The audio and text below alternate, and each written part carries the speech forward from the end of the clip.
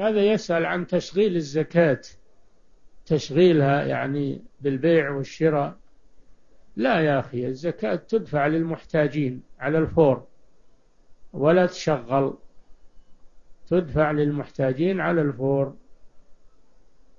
ولا تشغل للتنمية والربح. نعم.